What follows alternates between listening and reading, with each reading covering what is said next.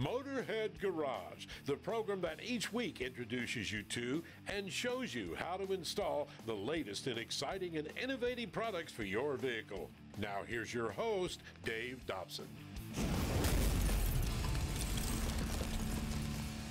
This is Motorhead Garage presented by DragonFireTools.com.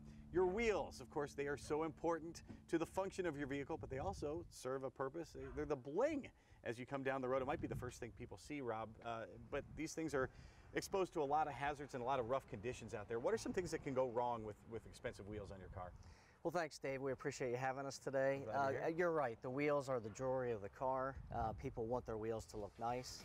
Uh, curbs, curb damage, pothole damage, delamination of clear coat, anything that uh, would be damaging or discoloring to the wheel, people want them to look nice. They want them back to the factory finish. Something they see a lot is that delamination. How does that occur? What happens? Uh, scratches in the clear coat. It gets underneath of the clear coat and then it starts to peel, fade away, turn yellow, discolor. So an alloy wheel repair, how do you fix all of those problems? So the first and foremost, we have a mobile fleet, mobile remanufacturing centers that go on site the dealers, body shops, tire stores. We fix their wheels on site, uh, whether it's curb damage, a bent wheel, needs a full, full refinish.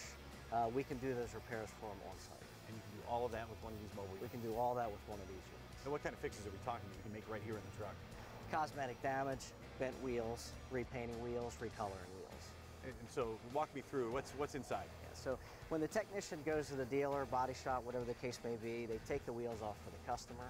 They take it inside. The first uh, location in the truck is a prep room. So they're breaking down the tire. Uh, they're straightening out the wheel if it needs straightening. Uh, basically getting the circumference back to the wheel. Uh, they put it on their prep bench. They're taking out the damage, uh, whether it be the scratches, discoloration, whatever the case may be. They're prepping the wheel for the final coats. They take it into the next stage of the truck, which is a downdraft paint booth. Same thing you'd see in a body shop. They paint the wheel, clear coat the wheel, and it's cured under heat lamps. And then when it's cured, they uh, put the tire back on, put it back on the car for the customer. How long does that process take? Usually about an hour a wheel. That's incredible, right on site. Right on site. And what if my wheel, when you come to me, we find it's damaged beyond repair, there's nothing that can be done? So we do have thousands of factory remanufactured uh, wheels in stock. So if for some reason we deem it's unsafe to be repaired, or uh, you just want new wheels, we can replace them from our inventory. Okay, so I don't need a fix to get new wheels from You don't, and it's a fraction of the cost of a new one. What does your technician need once he or she gets on site? They don't need anything. Uh, the units are self-sufficient, self-powered, and with our partners over at PowerBox, we've been able to create a proprietary unit that has electric equipment aboard, which is quiet, it's much better for the atmosphere, there's no emissions, no refueling. And you talked about painting. Uh, what kind of color options do we have? Uh, so we have about 40 of our own proprietary colors that we've created uh, with a private supplier. Uh, so our technicians know how to color match just about anything that's out there. We can even do black or multicolored wheels. What if I have a repair that you can't make here in your mobile unit? So for some reason the wheel is uh, heavily damaged, it needs lathing, high polishing, we can send it back to one of our remanufacturing centers where they can do more extensive repairs, such as when a, a wheel like this one needs lathing or high polishing and powder coating. How do you cover the whole country in alloy wheel repair? So we have 100 locations nationwide. We also have 50 remanufacturing centers. Uh, we have hundreds of these mobile units across the country that go to dealers, body shops, tire stores, pretty much anybody that needs a wheel repair. What happens if you can't get to me or I can't get to you? So we have a ship and fix program. If you give us a call, let us know where you're at. Uh, we'll send you uh, a box and a label, and you can ship your wheel to us. We'll repair it, and we'll send it back to you. Who are your customers at Alloy Wheel Repair? Pretty much anybody uh, that needs a wheel repair, but we, we primarily do work for body shops, dealers, tire stores, service centers, and the retail public. Uh, we have shops nationwide that you can come directly to, get your wheel repaired, get it recolored, get the bends taken out. Pretty much anything that you need we'll take care of. How do I know I'm going to get a quality repair on my wheel? It's a good question, Dave. All of our processes have been tested by a well-known and accredited facility. Uh, all our processes were deemed to be safe, and you can view those SCE certificates on our website. We pride ourselves in world-class wheel repair and a first-class customer experience. If you've got wheels that are scuffed up or bent up, you can get them fixed right on your location. AWRSWheelRepair.com. These guys are the best. We'll return with more Motorhead Garage presented by DragonFireTools.com in just a few minutes. There are about 327 million people in the United States, and 67% of them have driver's licenses. Which state has the most licensed drivers per capita? We can tell you it's not New York. Only 59% of New Yorkers drive. At 88%, Vermont has the most licensed drivers per capita.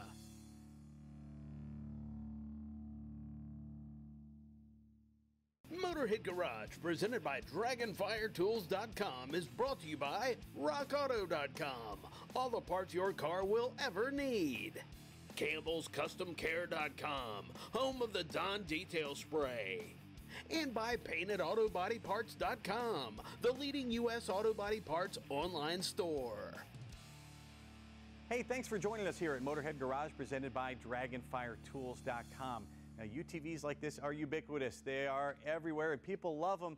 And of course, they are very capable, but there's a lot of things you can do, Jared, to enhance the capabilities of one of these. Where, where do you want to start if you buy a new UTV? Uh, well, our main focus at Texas Tough Customs is always to, to make the machine more capable by putting bigger tires on it. So for us, our lifts uh, prioritize moving the front wheels forward and the rear wheels back so that you can fit larger tires so that it's more capable in off-road situations. The second thing that we focus on is uh, suspension, articulation, and ride quality, and we always try to enhance the suspension from stock to make it flex more, to make it ride better, and uh, just to make it perform, you know, overall better. Well, let's talk about the stance of the vehicle first. You, you mentioned that moving moving everything out. How does that enhance your performance on the trail? Particularly on uh, on this Talon buggy we have back here, um, it's got our Texas Tough Customs 3-inch long travel kit on it. So this particular one widens it uh, by 2.2 inches on each side and then gives it eight inches overall of wheelbase. And what that does is it makes it more stable when you're going to climb stuff, steep hills, uh, off-camber situations, make it more stable because you're a little bit wider now. Um, gives you a better approach angle and a departure angle in both the front and the back when you're climbing flat rock faces or, or even going down into deep mud holes and different stuff like that. How big can you go with stock suspension and how big can you go with suspension from Texas Tough Customs? Absolutely. Uh, stock suspension setup you can usually run about a 30 inch tire before you start rubbing, uh, depending on the model. Now, like I said, this is a Talon X, so they got a little bit shorter wheelbase, so you can run smaller tires, so about a 30 or so. With our three inch kits, our forward arms, all of our kits that we offer for the Talon, uh, you can run a 35 inch tire, no issues, no rub, no nothing. So. Well, there's a, a stark difference between the stock control arms here. We're looking at the upper and lower that come stock with a Talon like this how are Texas Tough Customs arms different from what we see stock? Obviously, Absolutely. there's a visible difference, but how do you how do you make them different? Yeah. So obviously, these are the stock arms. They're super small tubing, uh, super thin wall tubing as well.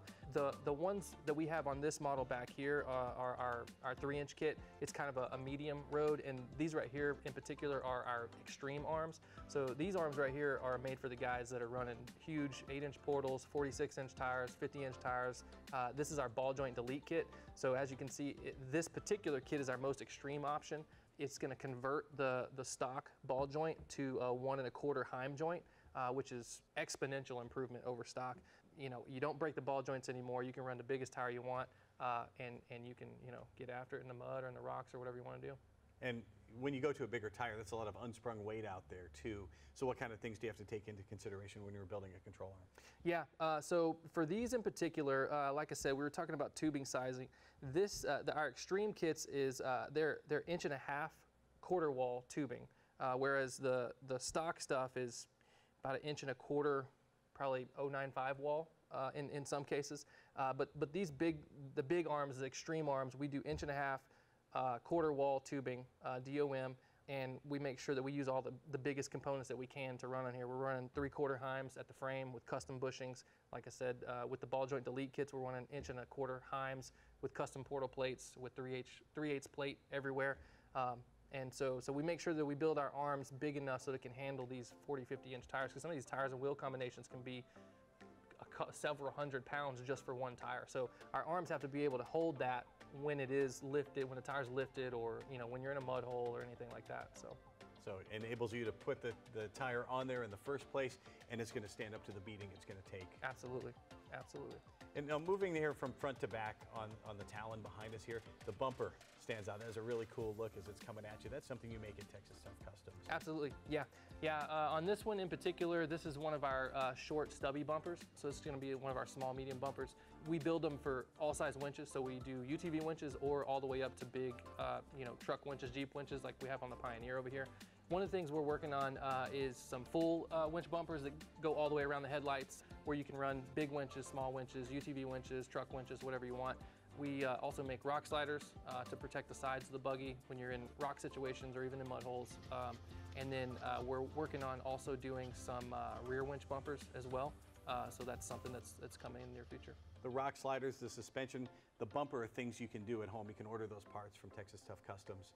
The cage, though, that's, you guys make that, but that's something that's a little different. Everything we offer is on our website. Um, our cages we do in-house only. Uh, I like to do them in-house only so that I have the buggy there so that we can work out all the kinks and when you get the finished products, it's exactly what you want. Usually what I'll do with the customer is I'll have a sit-down meeting with them. I'll ask them to send me some pictures of cages that they like from other buggies um, and I'll incorporate the design elements that they uh, prefer from the other cages and, uh, and I'll make them a custom cage. I'll render the drawings for them, send them back their renderings, and then they'll come back to me with yes or no, and then I'll start cutting and bending and building their cage. And you've got some other new stuff coming down the pike as well. Absolutely. Uh, another thing that we're working on is some hydraulic steering options for both the Pioneer and the Talon uh, so that we can get away from the manual steering gearbox. Uh, a lot of the big tire guys seem to keep breaking the, the gear gearboxes in them. So we're, gonna, we're working on some, uh, some hydraulic steering options for both the Pioneer and the Talon. You can get the most out of your UTV. Go to texastoughcustoms.com.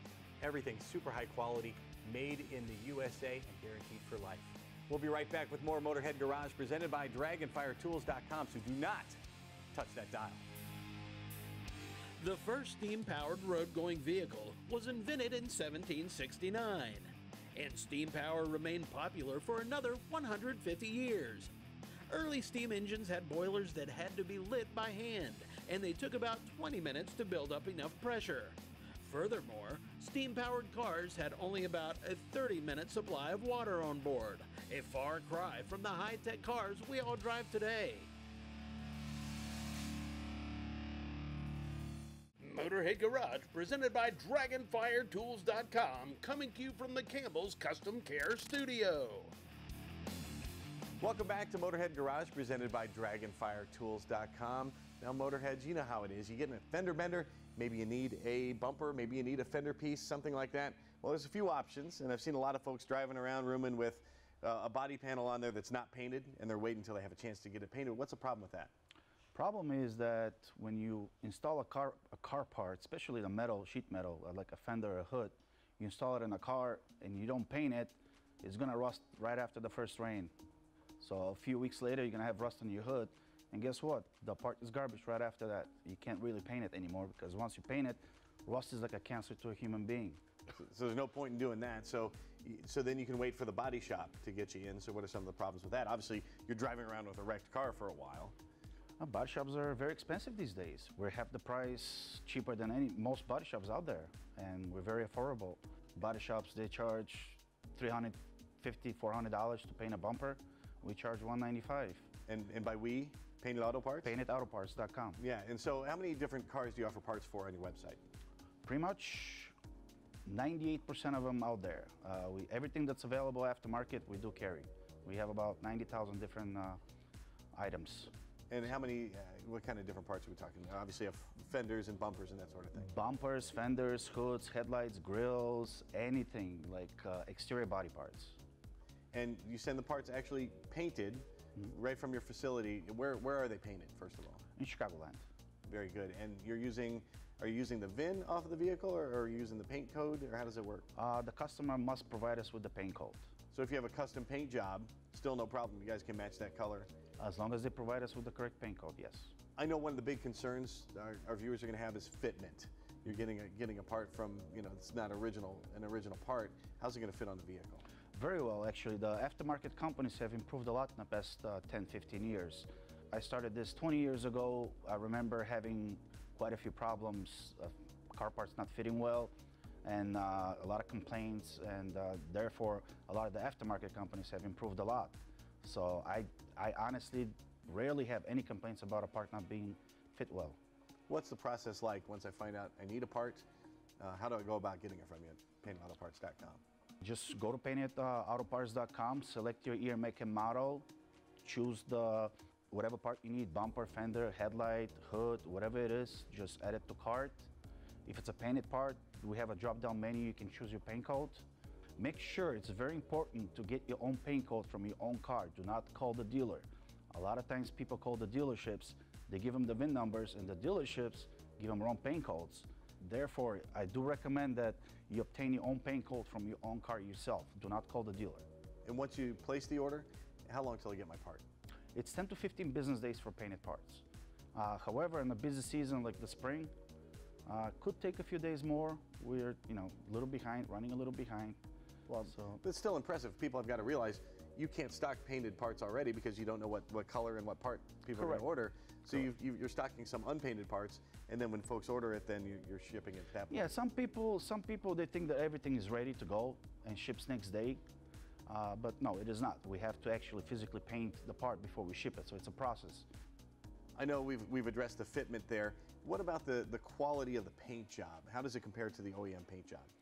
We do uh, the same job as uh, any dealership would do or a body shop. It's the same process. Uh, we, we prep the parts before we paint them, uh, base coat, clear coat, and then we buff them after that. It's exactly the same thing like any body shop does or the dealer.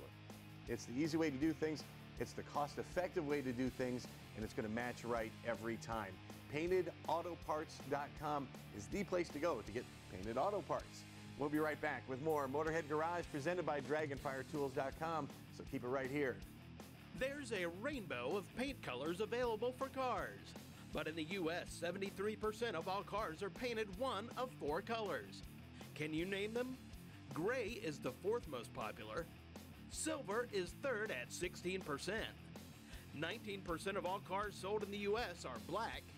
And white tops the list at the most popular paint color in the country.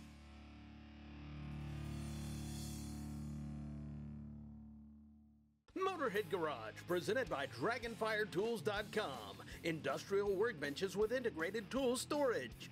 And brought to you by AMSOIL, the first in synthetics. Better battery bolts. You're nuts not to try these bolts.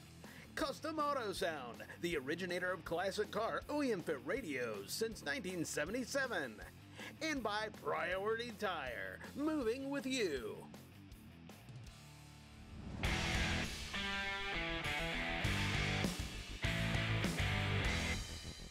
Well, you just spent over 100 hours building your new engine. You put it inside your car, and what's the tendency? Floor it! You want to go and spin those tires and burn them up.